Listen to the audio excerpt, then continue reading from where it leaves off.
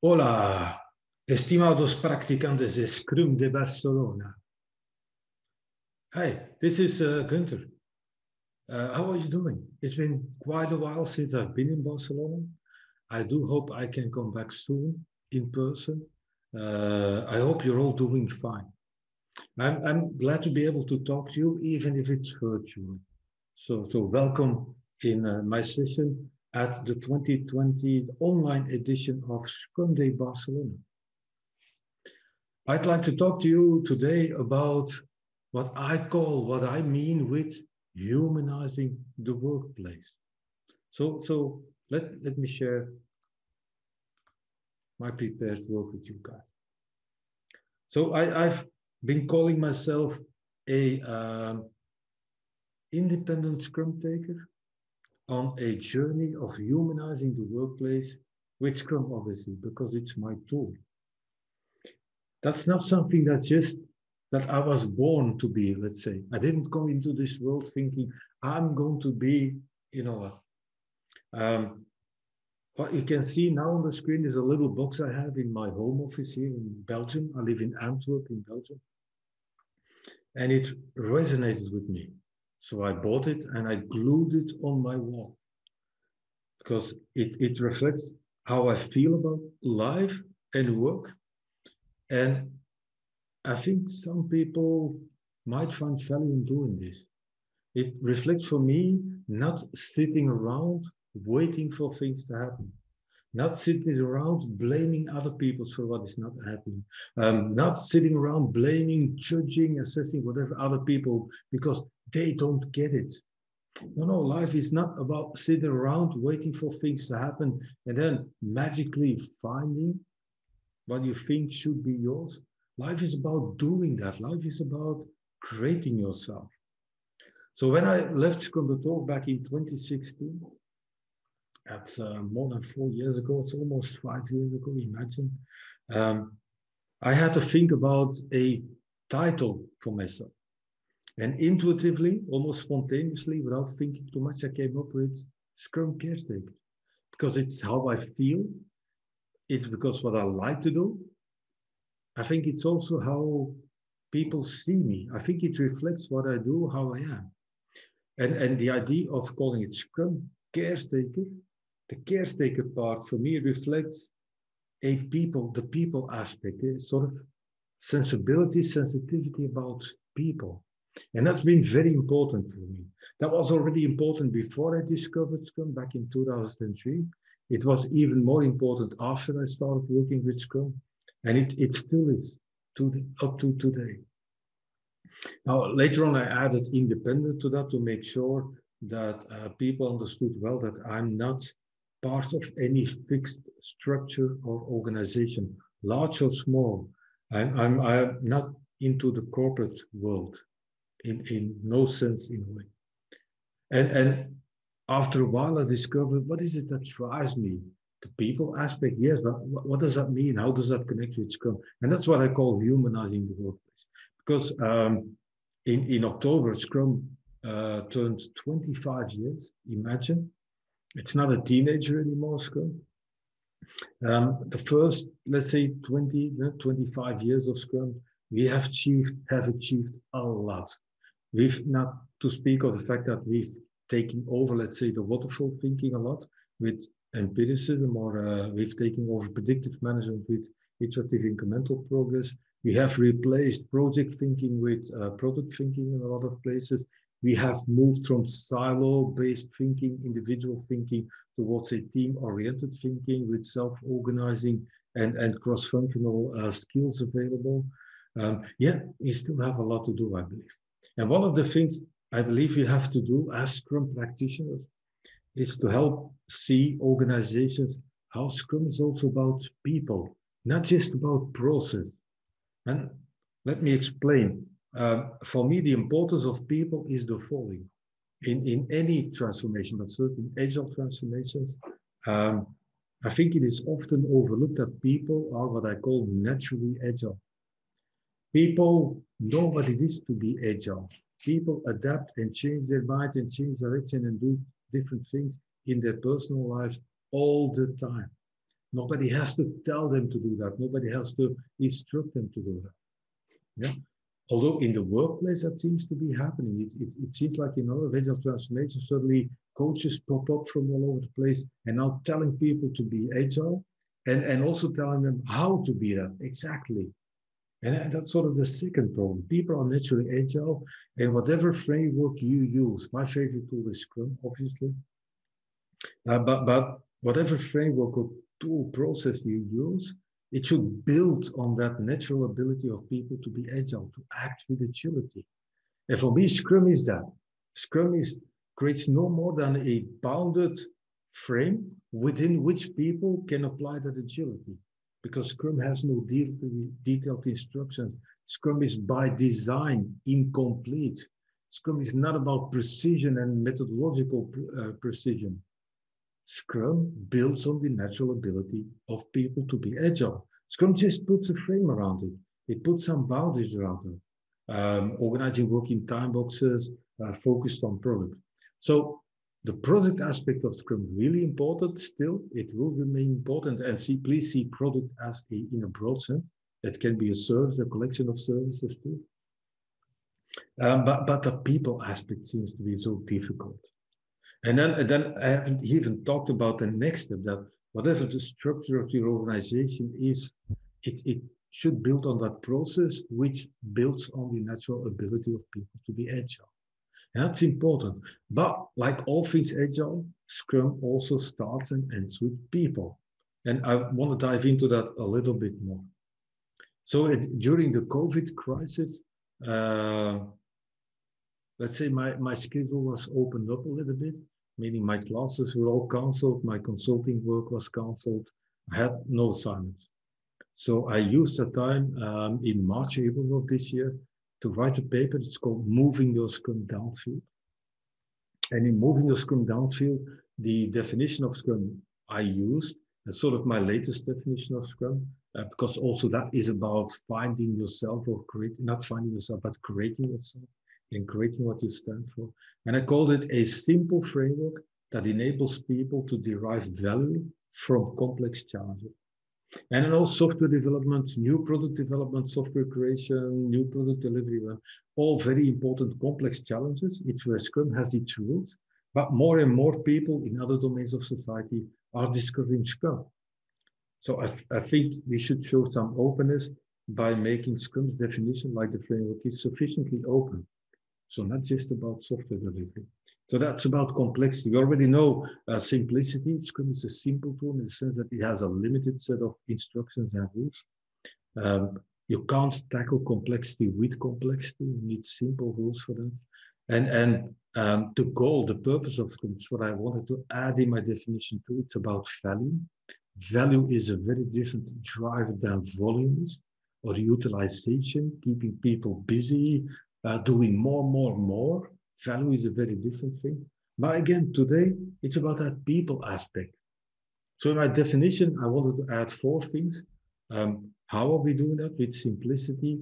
What are we trying to do solving or dealing with complex challenges? Why? By deriving value from them rather than trying to do more. And who does that? It's all about people.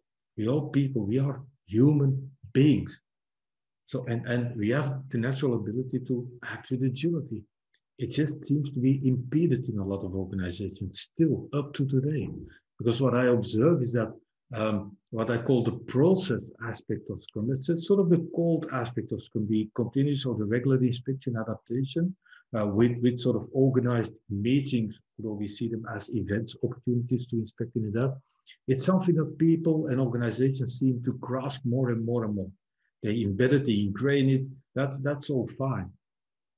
But in order to really get all benefits from Scrum, we should also embrace that people aspect. The fact that, fact that um, Scrum has a lot of room for people to create their solutions and, and devise their own way of working within Scrum without changing Scrum. And it's because, in my view, it's also written in, in that paper, Moving, moving a Scrum Downfield. Um, Scrum's DNA is for me the combination of empiricism and self-organization. empiricism, we already know, empirical process control. Self-organization has its roots in social research, in the fact that we're human beings, and as probably as my notes also in that famous paper, the new new product development game. Yeah? Now, empiricism being embraced, self-organization a lot more difficult. Although I believe it's really important, and there's some research to back up my statement that it's really, really important. In, in that sense, um, the Gallup Institute the institute in the in the, in, in the US, they regularly do worldwide surveys about people's engagement, engagement of the workforce. Now, now your country is Spain, and maybe some other uh, people attending too. I hope I hope there's an international audience. And and my country, Belgium, we are in Western Europe, and and it seems that globally, average, on on a global scale, only 15% of people say that they're really engaged meaning motivated, inspired by their company. In, in our part of the world, Western Europe, it's, it's, it's even worse. It's only 10%. Imagine that is 85% in general, um, 90% in our case of people saying that we're not really engaged for the company. We just come to work sort of in a couldn't care less attitude. Uh, we don't really care. We sit there nine to five, hoping to go home and then finally do the things that we like to do which is sort of a sad thing. Yeah. So about 70% of people say that we're not really engaged. Um, now, uh, even even in in the better uh, scoring regions, let's say, uh, where up to 30% uh, said they're engaged, um, even there it's still 70% of the workforce not being engaged. Yeah. Now, now to talk about Western Europe or the, or the or, uh, world average, what is even more scary is that um, on a world average in Western Europe, about 80, 90% of people say that they're actively disengaged. I, I call that negatively engaged, meaning almost fighting the company, working against the company, not just not buying into the mission statement, the belief, the principle, the, the value, whatever of the company, but fighting the company, fighting their colleagues, undoing the work of the positively engaged people. That is scary. Think, think of an organization of a thousand people where only 100 until up to 150 people are really going for the company, going the extra mile, uh, coming to coming to work with joy and pleasure and energy. That, that is scarily low. That is scary. Now, an effect of that is, by the way, uh, this is about knowledge workers, the figures that you, I'm going to talk about now. In, in general, from the survey, it seems that um, the, the level of engagement of knowledge workers, which is people like us uh, doing creative cognitive work, but it's also doctors, lawyers, medicines, and, and in, in the medical world, and so on. So it's not just uh, people in, in the software development. In, in general, knowledge workers, it seems that the level of engagement is slightly higher. So that's maybe good, but still, it's not higher than still 25 until 30%. Again, 70%, 700 out of a thousand people not being engaged or actively disengaged. Yeah? The, the effect is, is clear in a way that um, a lot of those people would not just like to leave their company, but even leave the region, leave the continent and, and move somewhere else. That is, that is called brain drain. And it's not just in, in the typical countries that we know. Uh, even in, in our part of the world, Western Europe, 21% of knowledge workers say that they would rather move to another country. Wow, that is not good. Um, now, you might wonder, is that sort of the same for people in a management position, who are, by the way, people too, which is quite important? Um, and I'm afraid so, yes, but not afraid. Actually, sort of good sign. I'll come back on that. Um, the Boston Consulting Group last year did uh, some research for that. It's much smaller research than the, the one from the Gallup uh, Institute.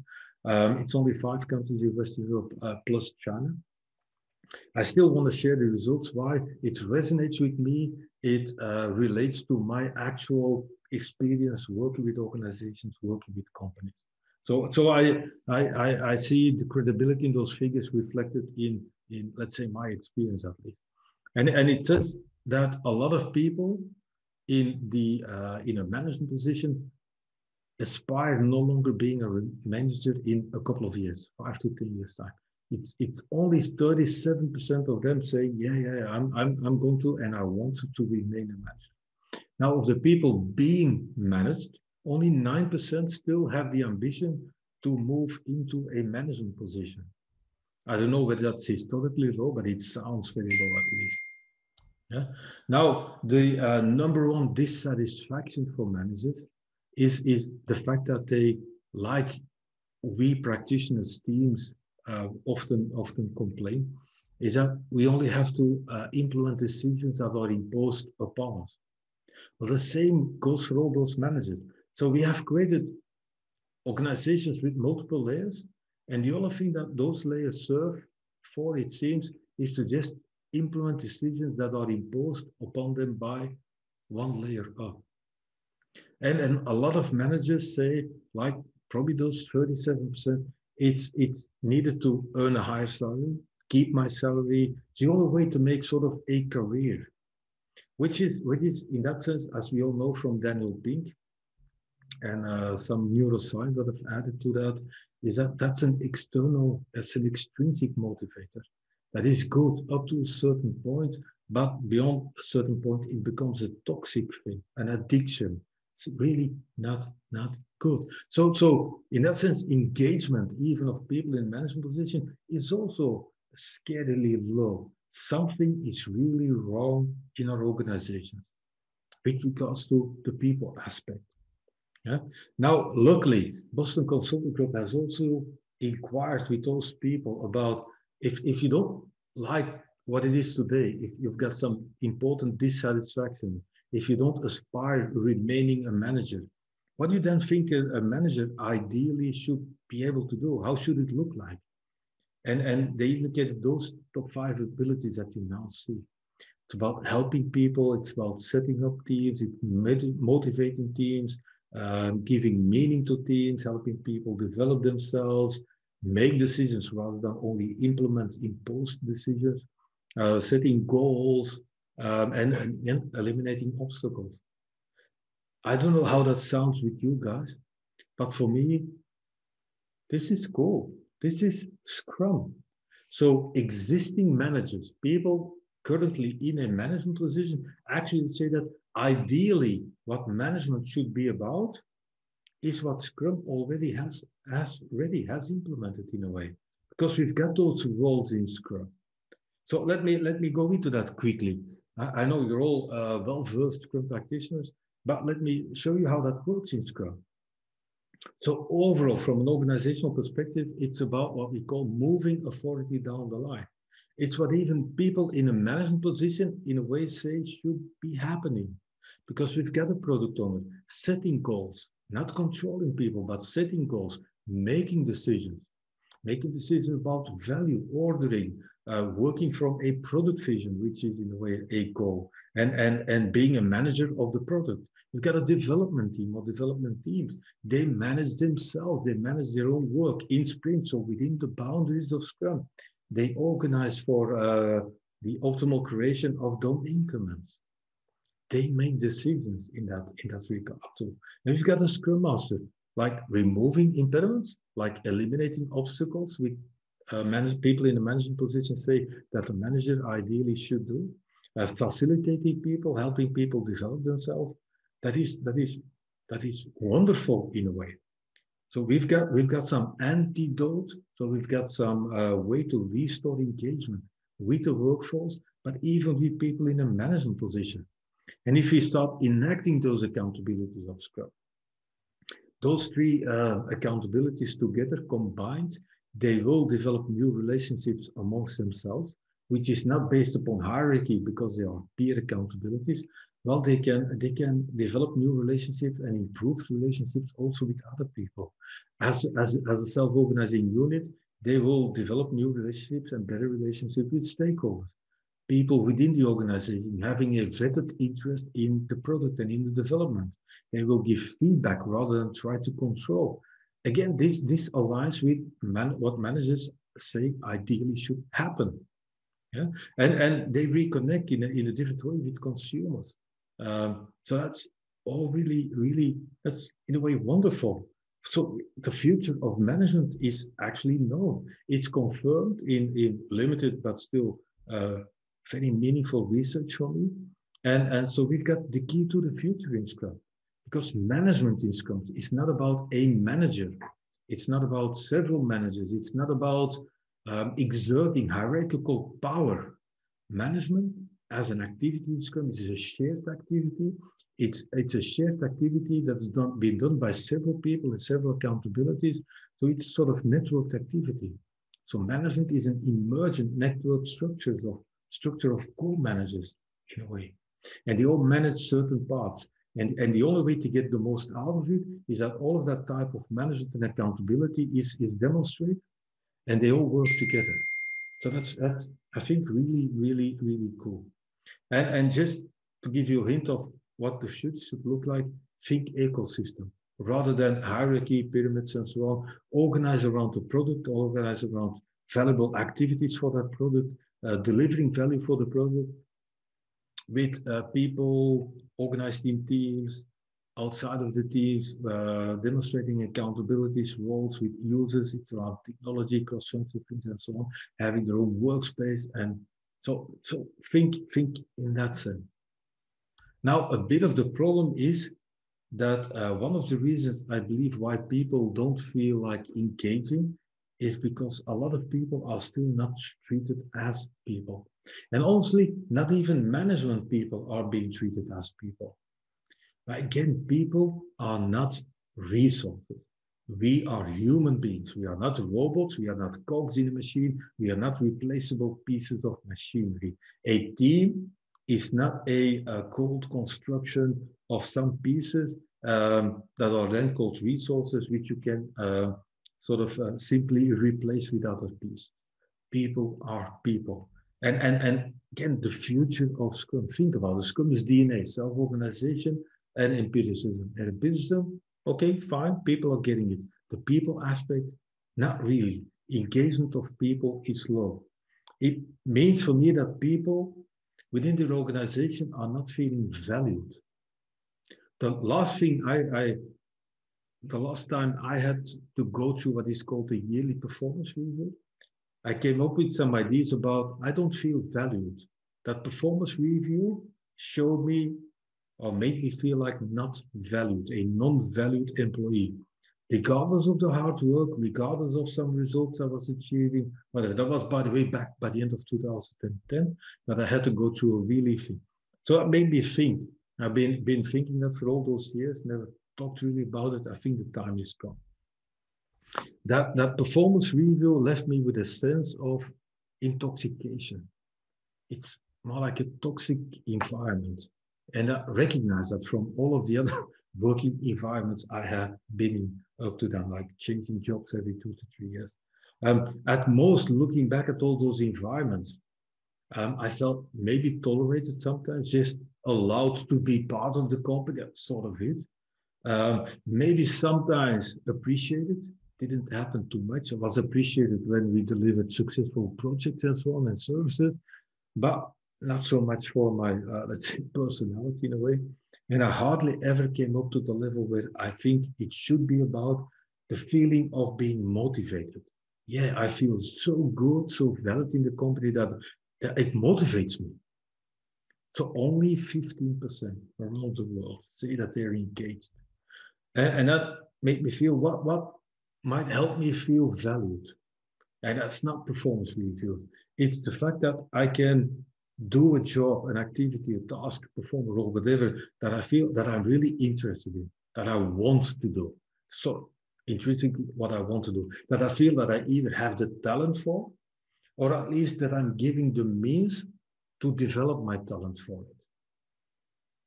And that combined with working in a domain, a, an industry, a part of, of things, product development, software development, potentially something else, the finance sector, e-com, you name it. So a combination of interests, talents, and domain. So those things go obviously hand in hand.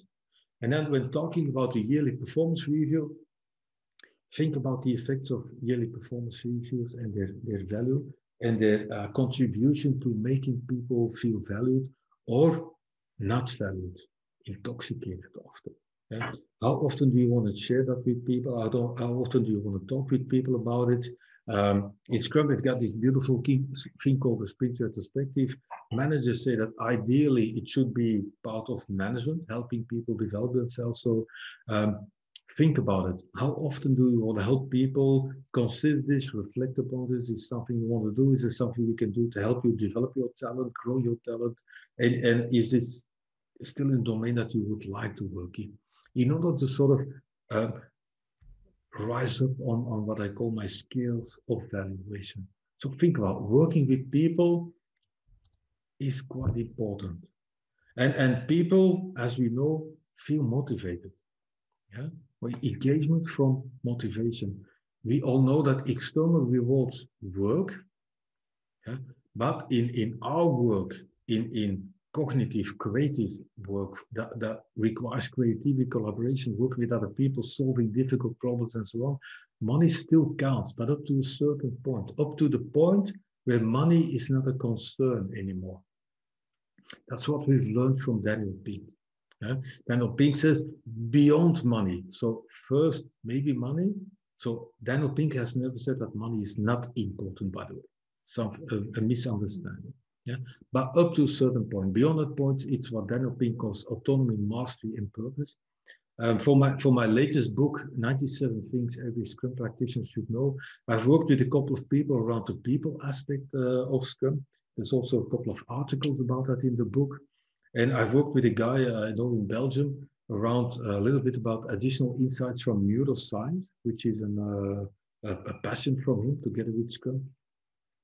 And, and we thought about autonomy, fine. Um, competence from the neuroscience, probably better than mastery. So think again about developing your talent, meaning increasing your competence, becoming better at something. Um, that gives people a sense of importance, which is much more important at some point than money or bonuses or a shiny car or incentives and so on. And then relatedness rather than purpose uh, relatedness, the, feeling of belong to something, contributing to something.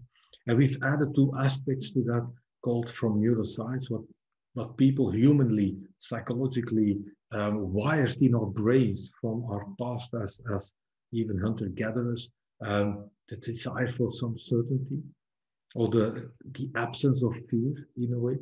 Um, often predictability, small things that we do to anticipate what's going to happen rather than trying to um, try to comprehend all at, at the same point in time, and, and the feeling of fairness. So those aspects, that is what motivates people. So, so think about it when you work about with people, uh, step away from current procedures and, and process and HR and judging and assisting people. Uh, try to have some open conversations with people, keeping in mind what is it that motivates people, what, what might help people feel valued. Now, one of the most important tools or instruments we have in Scrum for that, for me, is this aspect of self-organization. The second aspect of, of Scrum's DNA, next to empiricism, self-organization. So the rules of Scrum only provide us a boundary that, that helps us or that inspires us, invites us to regularly inspect and adapt. But beyond that, and within, within those boundaries, self-organize. And, and self-organization is not a situation that is what I've called in this in this schedule manager-led, meaning one central person, um, be that an HR guy, a resource uh, manager, a project manager, the most senior lead in the team, whatever, telling everybody else, telling a full team what they should be doing, uh, on what they should be working. No, no, self-organization in Scrum starts with self-managing teams teams that at least at least have the uh, freedom and are allowed or invite even provoked invoked to be organizing their own work in the sprint without anybody from outside of the team telling them what to do at what point in time.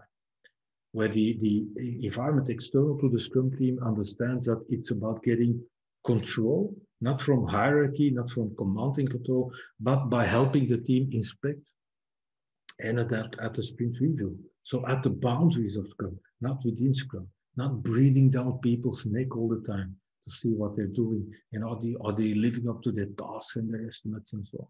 No, no, look at the increment and how much value is in the increment by the end of a sprint as delivered by a full team, not, not a collection of individuals. So self-managing team. Now, if, if a collection of people have the skills, the creativity, the intelligence, the level of collaboration to manage their own work in a sprint, that means they can also demonstrate accountability in saying what skills they need, what people additional they need, what talents, what, what insights, whatever they need in their team additionally, or maybe what they do not need any longer. Yeah? We don't need, so even, even with self-managing teams, most organizations I know, um, people external to the team still regularly break into the teams tear up a team by pulling out people, putting them somewhere else, replacing the product owner, getting some people out, whatever. It, it, it plummets teams, it, it kills their motivation. So even self-managing teams that are not allowed to be dedicated on a product and decide for themselves who should be in, maybe even out, who should come into the team, they, they, they, they kills their motivation. So that's sort of the next step, the next level, if you want. Don't like levels too much, but still self-designing teams.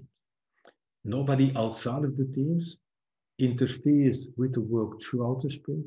Nobody from outside of the team interferes with the um, setup, the form, the, the formation of a team. They can do that for themselves. So that, that so even at self-managing, it's, it's very difficult. That people aspect is still not being, that self-organizing people aspect still not being embraced sufficiently, let alone the idea of self-designing teams, meaning dedicated, leave them alone. Give them goals, give them purpose, make sure that they feel related to whatever you're doing, and then, then get out of the way. Yeah. And, and from that survey by the Gallup Institute, it shows that this really works.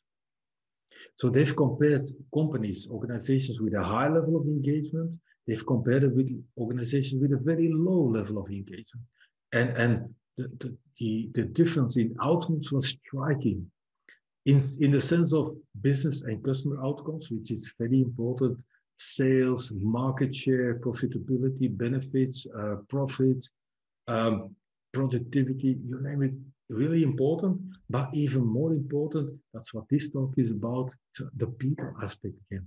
Employees for the people, for the teams, for the employees themselves. And it must be that employees feel a lot, a lot better in those organizations uh, because the outcome of their work from the, for the business and the customers is better, but also for themselves. Absenteeism is lower, burnout rates are lower, long-term absenteeism is lower, people staying home uh, sick being prescribed to be home by the doctor and so on. It's all very lower. Turnover is lower. People leave the company less. Um, people leave the teams less, so people stay within the in the organizations uh, a lot longer. And in, in physical work, also the safety incidents are a lot lower. Quality is better. So, so it must mean that people actually feel a lot better. And, and the fact that people feel better results in better business and customer outcomes. They are related to each other. Now, if you look at the 85% or even 70, the 70 to 85% of people not engaged or negatively disengaged, that means the potential for improvement is enormous. It is enormous. Imagine you can uplift that from 30 to 40 to 50 to 60%. Imagine, imagine the impact on your business and, and other outcomes. Yeah. And my suggestion is to look at engagement first. Look at the organization, the environment in for people first. Yeah, and that's one of the aspects of agile transformations. Um, it doesn't take into account that aspect enough. Now, first of all, it is not a transformation if it doesn't change how you work. You cannot lead, steer a transformation, whatever sort of transformation, with a separate change project being managed by separate people. No, no, no. It has to be in how the people work, how the people are allowed to perform their work. Again, it's revealed sprint review, but certainly at the sprint retrospective, looking for small changes, small improvements, sprint by sprint by sprint, actually changing how you work. Not a separate plan, not a separate project with separate people managing that. It should happen on the workflow and it, it should simplify your work. Otherwise, not agile, the simplest thing that might possibly work. But certainly, if you're doing it with Scrum, if you're introducing Scrum, it should engage people. It should not be the new commanding process. Scrum is a servant process. Scrum is only a skeleton process. Yeah, it, within and on top of the skeleton, you have to do your own. It just sets boundaries. Within those boundaries, you have to act, do something. Scrum doesn't tell you what to do or how to act. So it should engage people. And, that, and that's still a huge problem because that's why the people aspect is not being embraced. We have this ingrained obsession with trying to control individuals. We are not accepting yet that complexity requires team, cross-functional ecosystems, multidisciplinary combination of skills and, and, and interests and talents and experience. And then stop judging individuals. Stop trying to control individuals. Control comes out of working in time-boxed sprints. You can never get lost for more than two or three weeks. That's where you get control from, not from controlling individuals. So to conclude, to conclude, what we're looking for, the shift that we are looking for is we're asking people, now managers, leadership, stakeholders, CFOs, CXO levels, whatever, CEOs, but maybe even Scrum Masters sometimes, maybe even product owners sometimes, um, maybe even developments doing that to themselves. Stop managing for tasks and individual performance, estimates, and so on. It doesn't work. It's not what was intended to be because that has a lot to do with sort of value uh, or uh, either volume or utilization. No, try to go for fostering, creating, and fostering a bounded environment where Scrum is one of the boundaries uh, where people can engage again and, and, and get engagement up. Keep measuring business outcomes, but do not focus on business outcomes anymore. Completely focus for the time being on engagement and what is needed to create a bounded environment in which people can engage. And as a gift, you will get better business and user outcomes. So again, think ecosystem. Think not controlling people, think about value, value for your users, for your organization, but also for the teams themselves. Think of valuable activities, um, relatedness. Think about competence, which is not in hierarchy, having to climb the ladder in order to get a decent income and, and some more status. Think about terms of mastery, expertise, and so on. So away from hierarchy and all of the old models. So I can only invite you to keep learning, keep improving, keep active, keep scrumming.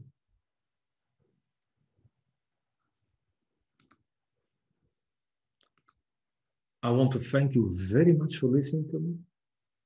There's some questions coming up, I believe, so we can. Uh, I'll, I'll go into that. Hope to see you again in person, in live, in Barcelona someday or some other place up to that point. I wish you good health, a good job, and a high level of engagement.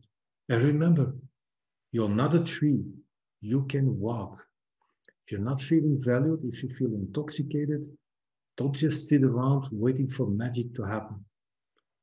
Create your life yourself. So thank you. Bye bye.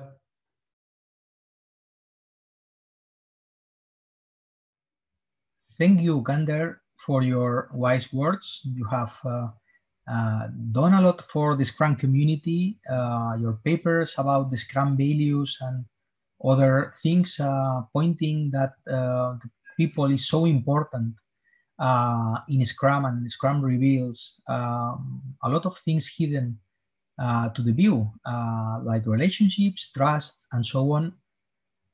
and this humanizing the workplace talk reflects and even enhances these uh, these, these comments. Uh, I have compiled a couple of uh, questions uh, you may you may uh, answer to the audience, and uh, please go on and thank you. So, thank you very much for listening to some ideas on how to use Scrum in order to humanize, or let's say rehumanize the workplace. Hope you got some ideas out of it. um, hope you get some ideas that you can take back to the workplace and uh, create a more humanized workplace. So time for a couple of questions. Uh, keeping an eye on the clock in, in the meantime, I don't want to ruin the rest of your beautiful day um, of, of listening to great things at Scrum Day Barcelona. So uh, let's go into something. Something that's obviously um, a, a, burning question on maybe some people's mind is the idea of self-organization and self-management. So allow me to have a look at uh, what I said about it and, and maybe clarify things even a little bit more. So what I shared with you guys was this slide. And as you can see, self-management is, is actually on there.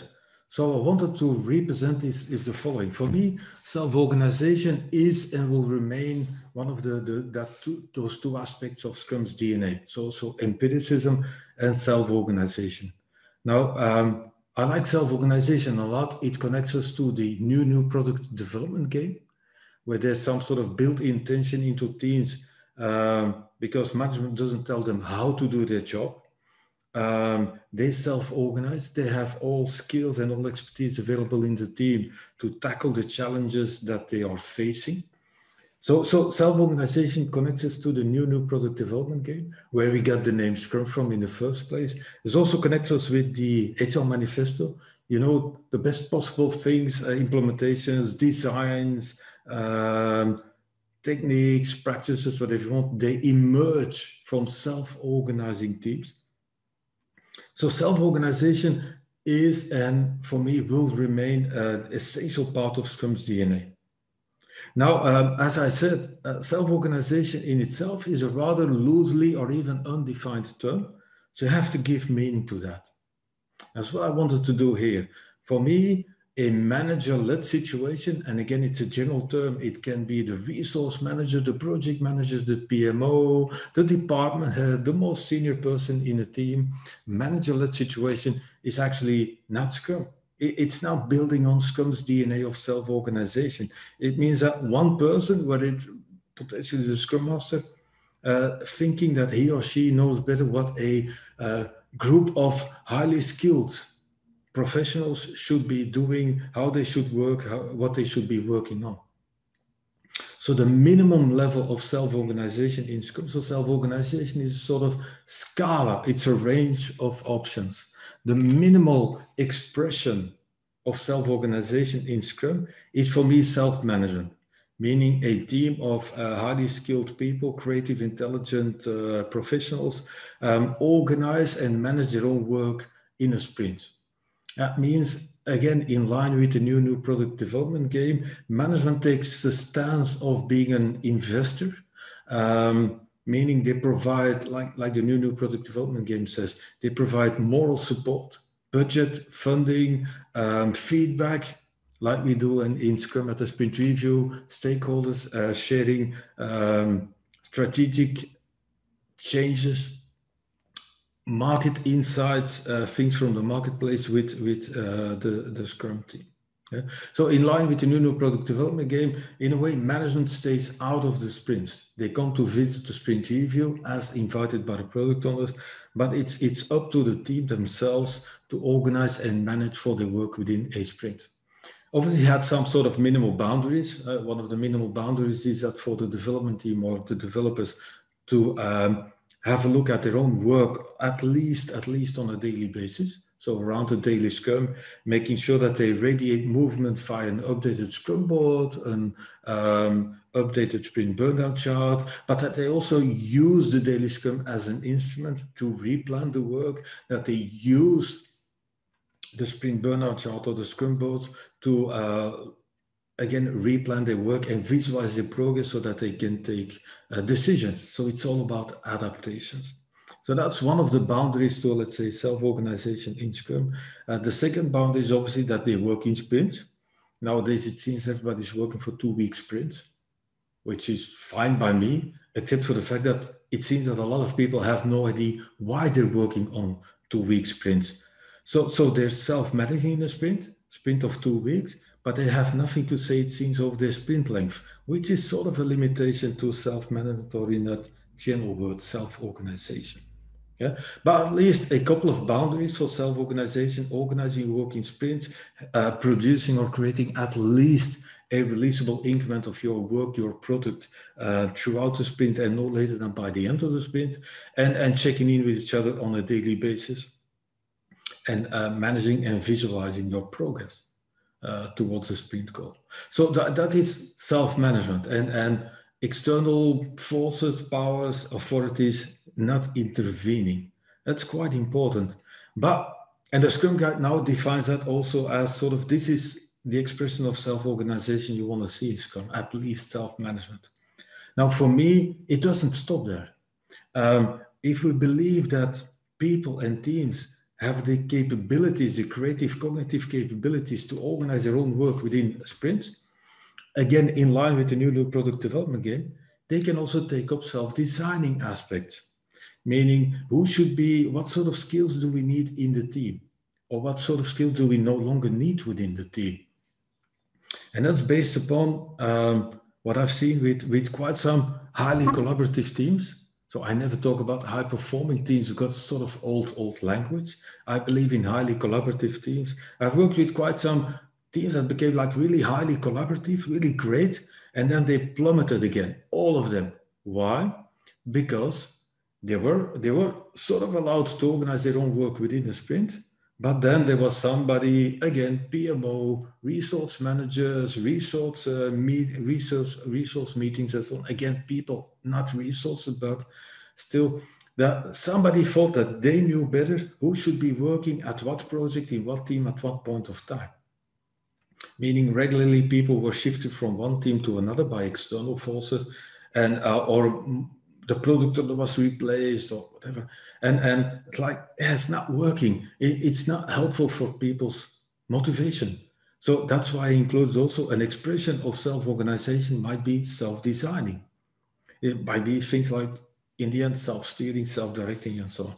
It depends on your situation. But self-organization starts with self-management but it doesn't stop there so to think about that and it might also lead us to things like um, education, promotion, knows, rewards, compensation, and so on. Again, what I talked about, that, that feeling of valuation.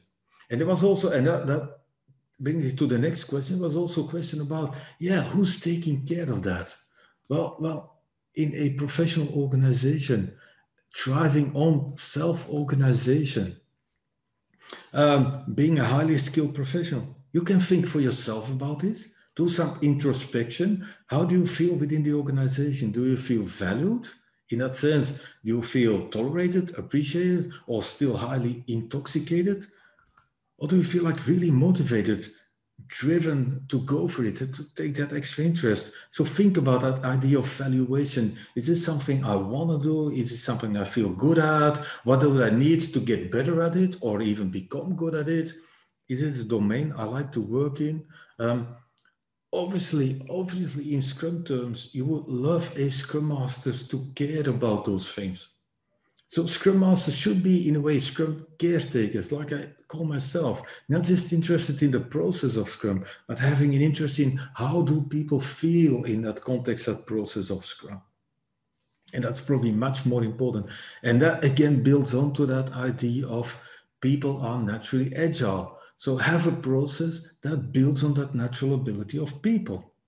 And that's also a very important message for a lot of coaches, agile or otherwise out there that think that they should tell people how to work. Help them feel valued, help them build on their self-organizing capabilities.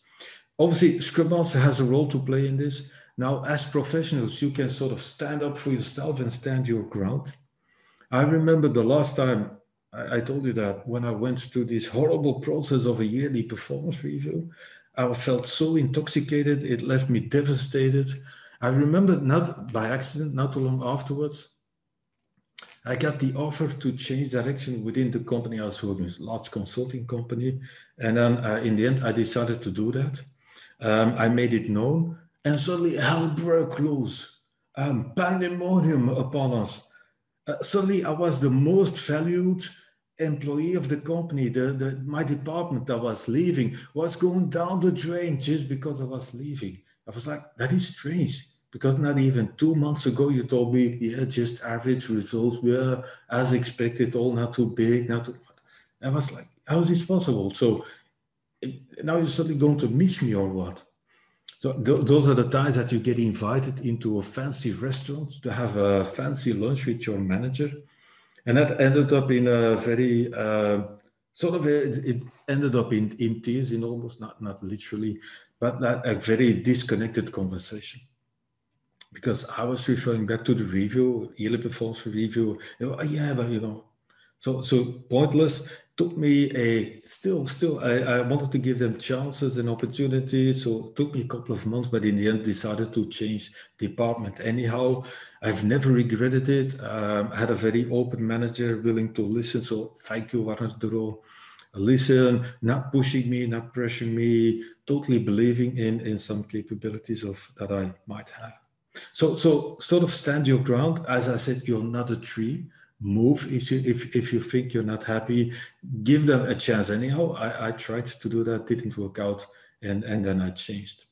Obviously in a professional organization not just the developers and the, and, and the people in the scrum teams are expected to be professionals and sort of stand up the ground do some introspection and then potentially take it up via the scrum master hr has a role to play in that also potentially and at least you would like HR to be professionals themselves. You would like HR people to know what the research is, what the research says and neuroscience even about what motivates people. So you would like HR to think about that idea that I, uh, that I proposed, valuation of people, ask people, how do you feel valued? What can we do to help you? Again, it's about facilitation, it's supporting people. That, that it's sort of extension of that Scrum Master role. Rather than telling people what to do, help them discover what motivates you. And, and you would like you would like HR, professional HR people to know that certainty is important, but also fairness, the fairness of being paid properly. So these are toolboxes for Scrum Masters, for everybody, but certainly Scrum Masters, but also for HR professionals. And then working with the Scrum Masters to help that team grow to a state of highly collaborativeness. Very, very important. So there were also questions about um, that process follows people thing. I, I, hope it becomes clear on how to build on that. I, am I've had some strange experiences working with agile coaches. Tell people that they have to estimate their product backlog in story points, and that one story point is one day of work. It's like, oh my God.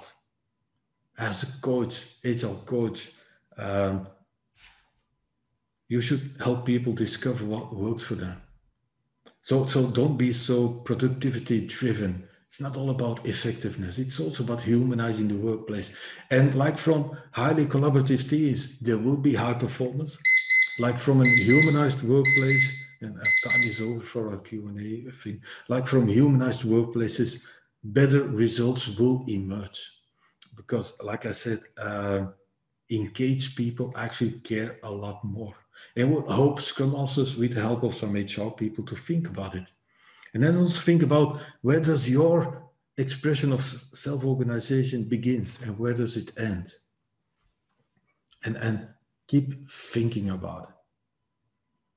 So I hope to see you guys again at some point in time in person again. I hope to be able to visit the beautiful city of Barcelona again. In the meantime, I wish you a, a wonderful continuation of your of your day of uh, listening to people at the Scrum Day Barcelona. Bye bye. Thank you.